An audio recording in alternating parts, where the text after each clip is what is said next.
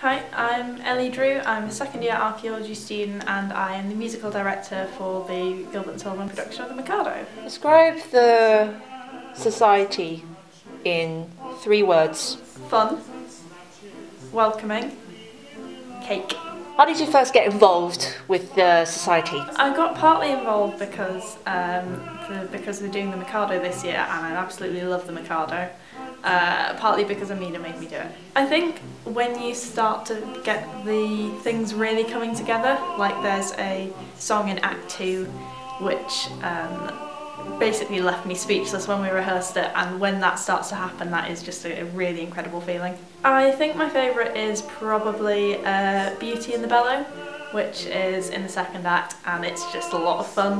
Um, I'm really looking forward to seeing that one. I tend to divide my time between swing dance and uh, playing around in medieval rubbish.